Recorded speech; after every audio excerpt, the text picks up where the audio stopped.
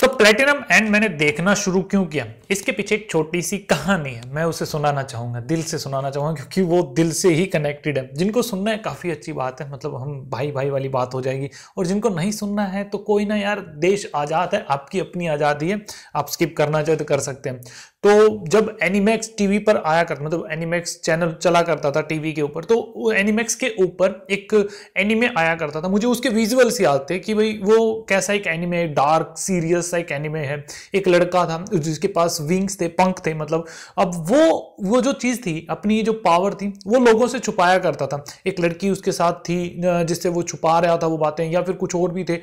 सही बात कहूँ तो सबसे ही छुपा रहा था।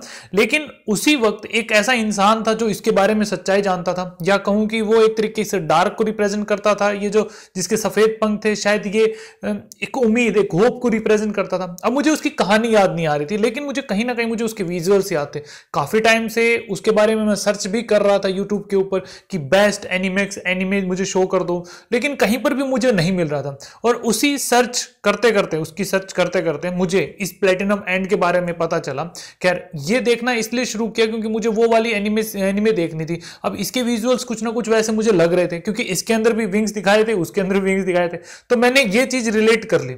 मैंने क्यों बताई? क्योंकि मैंने क्यों बताया? बस इसीलिए ताकि आप पता चले मैंने कि इसे क्यों देखा है? किसी ने मुझे रिकमेंडेड नहीं किया। बस ऐसे ही कोई इसका ट्रेलर नहीं देखा था, इसको देखना शुरू कर दिया।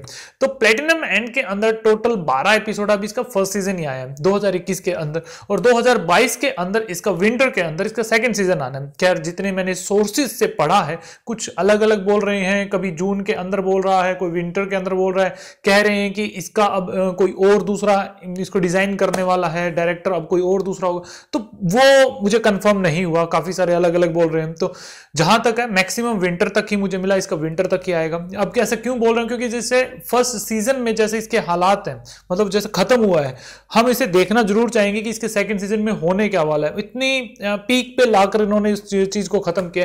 बीच में फाइटिंग चल रही थी। फाइटिंग चलते चलते इन्होंने खत्म किया। तो ऑब्वियसली हम चाहेंगे कि उसका नतीजा क्या बनता है।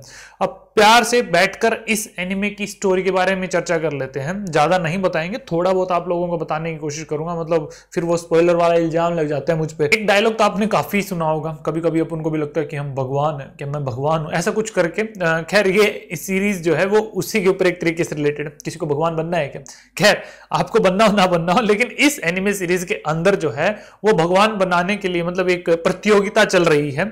जो एक व्यक्ति है, जो भगवान है, जो वो पहले इंसान था, उसको भगवान का दर्जा दिया गया था। एक्चुअल का भगवान, जिसके पास सारी पावर जो सृष्टि को चला रहे हैं। तो वो गॉड कहते हैं कि भाई अब मैं रिटायर होने वाला हूँ। तो अपने जितने भी एंजल्स होते हैं ना, उनको कहा जाता है कि जाइए धरती के ऊपर और कुछ इंसानों को चुनिए। एक्चुअल में तेरह एंजल्स धरती के ऊपर आती हैं और उसमें आती क्या? आते भी हैं। अब मुझे ये समझ नहीं आता एंजल लड़की को कहेंगे, लड़के को क्या? एंजल उसको भी एंजल ही कहा जाएगा क्या? खैर, वो मुझे बता देना यार, समझ में यार फरिश्ता, फरिश्ती फरिश्ता, फरिश्ती, यही हो सकता है ना? हाँ तो ये तेरह जो हैं एंजल्स धरती के ऊपर आती हैं, आते हैं, जो भी है। तो ये तेरह इंसानों को चुनते हैं। अब उन तेरह इंसानों में से कोई एक ही गोड बनना है, एक कोई भगवान बनना है मतलब एक के लिए वैकेंसी है। यार, एक ही सीट खाली है। बाकी जो तेरह है, वो मतलब बारह का क्या होगा? खैर, इससे ज़्यादा मैं नहीं बताऊँगा। कतलेआम शुरू हो जाता है एक तरीके का मतलब एनिमे के अंदर। अब वहाँ पर ये जब स्टार्ट होता है एनिमे जो है, वो काफ़ी ज़्यादा इंटरेस्टिंग होती चलती है। स्टार्टिंग में जब मैंने इसको एज ए मैं पुरानी वाली उस सीरीज़ के तरीके से देख रहा था कि यार, मुझे वो वाली एनिमेक्स वाली शायद ये एनिमे मिल जाए। तब इसको देखने बैठा था तो फ़र्स्ट एपिसोड इतना ज़्यादा मुझे इंटरेस्टिंग लगा उसको सीरियस उसको इतना ज़्यादा डार्क करके दिखाया गया है। आ, मन तो कर रहा है उसके बारे में डिटेल से बात करूँ कि जैसा उसके अंदर दिखाया जाता है खैर नहीं करते। वो उस एपिसोड को देखने के बाद इसके जो बाकी के एपिसोड है देखने की इच्छा होने लगती है कि हाँ यार ये तो दम लग रहा है इसके अंदर बाकी के एपिसोड देखे जाए क्योंकि इतना ज़्यादा इंगेजिंग पहला ही एपिसोड दिखा देते हैं। तो अब जैसे जैसे एनिमे आगे बढ़ता है तो कुछ चीज़ें हमारे सामने आती हैं जो इस एनिमे को और ज़्यादा इंटरेस्टिंग बनाने लगती हैं। खैर वो क्या है, जब ये आप एनिमे देखोगे, तभी पता चलेगा। सारी चीज़ें मैं नहीं बता सकता ना रिव्यू कर रहा हूँ यार, थोड़ा सा तो रिव्यू करने दो ना। और अब इस एनिमे सीरीज़ की कुछ अच्छी बातों का, कुछ बुरी बातों का, दोनों की चर्चा कर लेते हैं। पहले तो अच्छी बातों की बात कर लेते हैं, नहीं होता ना अच्छा काम पहले, बुरा काम बाद में, पहले अच्छा काम करते हैं। तो सबसे अच्छी चीज़ मुझे इस एनिमे में लगी कि जिस तरीके का इसके अंदर सीरियसनेस स्टार्टिंग में दिखाया जाता है, वो मुझे बहुत पसंद आता है। इसका साउंड जिसमें इसमें दिखाया गया बैकग्राउंड साउंड उसको सुनने में काफ़ी रोंगटे खड़े हो जाते हैं, बहुत बढ़िया लगती है वो चीज़। साथ ही साथ इसके अंदर जब जब एंजल्स धरती के ऊपर आती हैं तो उनका एक रैंक डिसाइड हुआ होता है, कोई स्पेशल है, कोई फ़र्स्ट है। तो इस रैंक के हिसाब से उनको पावर दी हुई होती है। अब वो पावर उस इंसान को वो ट्रांसफ़र कर सकते हैं। ट्रांसफ़र का एक तरीके से दे सकते हैं कि भाई, मेरे पास इतनी पावर मैं तुम इस इंसान को इतनी पावर दे सकती हूँ। हर एक एंजल का अपना एक इंसान है मतलब ऐसे अब वो जितनी पावर उसको देते हैं, वो इंसान उस पावर का यूज़ करना स्टार्ट कर देते हैं। जिस तरीके की डिटेलिंग इसके अंदर दिखाई जाती है कि दो एरो है, एक व्हाइट एरो है, एक रेड एरो है। रेड एरो से किसी भी इंसान को ऊपर काबू पाया जा सकता है। व्हाइट एरो से किसी को भी मारा जा सकता है। एरो की स्पीड क्या है? एरो की लेंथ क्या है? तो ये जितनी डिटेलिंग दी जाती है ना, वो काफ़ी ज़्यादा अच्छा लगता है, जिससे ये एनिमे और ज़्यादा इंटरेस्टिंग होने लगता है। देखने में मज़ा आता है कि यार हाँ इतनी सारी चीज़ें इसमें दिखाई जा रही है। और केवल यही नहीं है। एंजल्स धरती पे आएँगे, उसके पास कितना टाइम है? उस इंसान का क्या होगा जो वो भगवान नहीं बन पाएगा? या फिर गॉड का जो कैंडिडेट जो बनने के लिए तैयार हुआ है? और यहाँ पर जो एंजल्स जिन इंसानों को चुनती है। कुछ लेडीज़ भी है शायद इसके अंदर। हाँ है।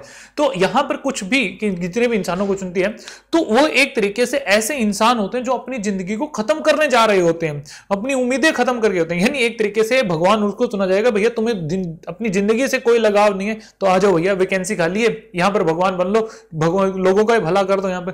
तो ये वाला जो एक कॉन्सेप्ट दिखाया जाता है ना, वो काफ़ी अच्छा लगता है। बात करने को तो देखो, बहुत सारी चीज़ें हैं कि यार इसके बारे में बात करूँ, उसके बारे में बात कर लूँ। लेकिन इतनी सारी बातें करने बैठा तो वीडियो की लेंथ भाई साहब दो तीन घंटे की हो जाएगी लेकिन इतनी मुझे करनी नहीं है।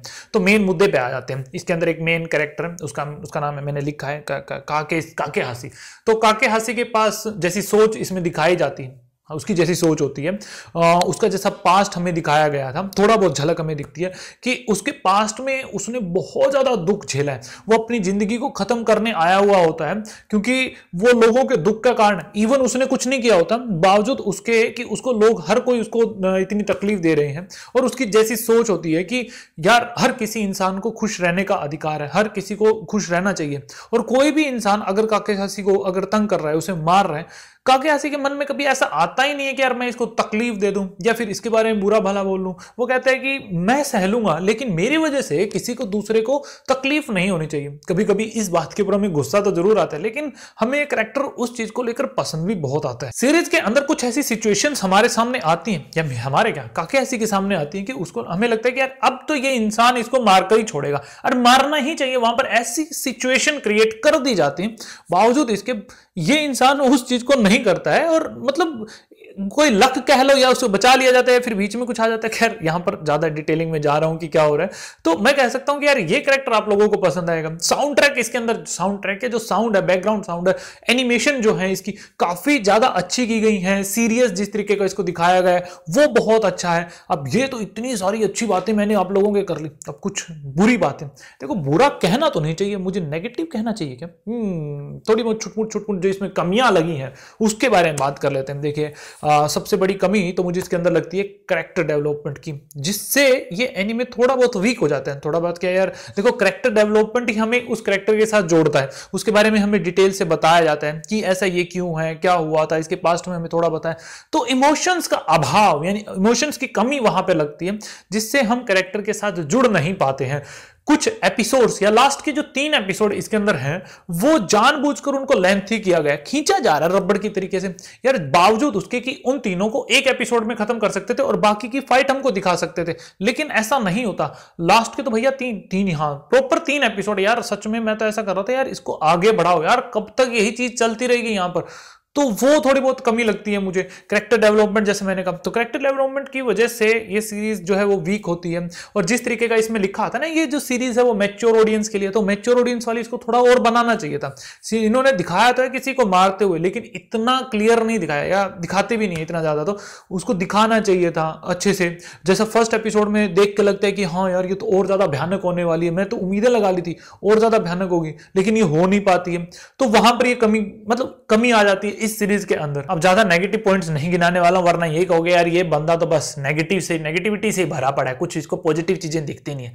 खैर सीधी साफ़ सरल शब्दों में बात करूँ तो एनिमे की जो स्टोरी है वो अच्छी है सीरियस है मेच्योर ऑडियंस के लिए जैसा कहा गया वो है हम्म, हम्म हाँ है। सच में है। तो मेरी तरफ़ से तो मैं ये कह सकता हूँ कि आप इस एनिमे सीरीज़ को वन टाइम कंसिडर तो कर सकते हैं। किसी को शायद ये पसंद आ सकती है। मुझे थोड़ी सी कम पसंद आई एज कंपेयर टू जितनी मैंने एनिमे देखी थी सीरियस के लिए डार्क के लिए, जिस उम्मीदों से मैं बैठा था, या फिर जैसा इसमें फ़र्स्ट एपिसोड दिखाया जाता है, बाद में जाके ढीली पड़ जाती है इंटरेस्ट कम हो जाता है, सच में कम हो जाता है। मैंने इसके लगभग आठ एपिसोड तो मैंने लगातार ही देख लिए थे, लेकिन बाकी के जो चार देखने में मुझे काफ़ी टाइम लग गया था। एक तो टाइम का ही था और धीरे धीरे इसका इंटरेस्ट कम होता जा रहा था। जैसे जैसे एपिसोड आगे जा रहे थे। शुरुआत में तो बढ़ता है, लेकिन बाद के एपिसोड में खत्म होता, खत्म तो नहीं कहूँगा, कम हो जाता है।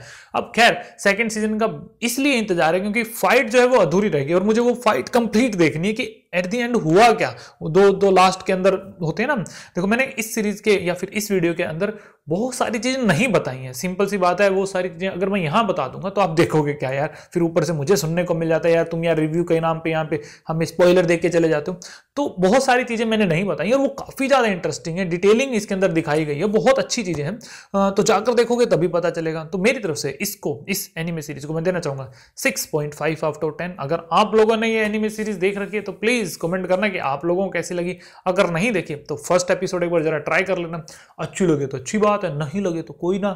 तेईस मिनट का एपिसोड है, तेईस मिनट में से इंट्रो आउट्रो हटा दो, उन्नीस मिनट के लगभग बच जाते हैं तो उन्नीस मिनट तो दे ही सकते हो। तो बस आज के लिए इतना ही था इस वीडियो में। Thanks for watching this video मिलते हैं नेक्स्ट वीडियो में। जय हिंद।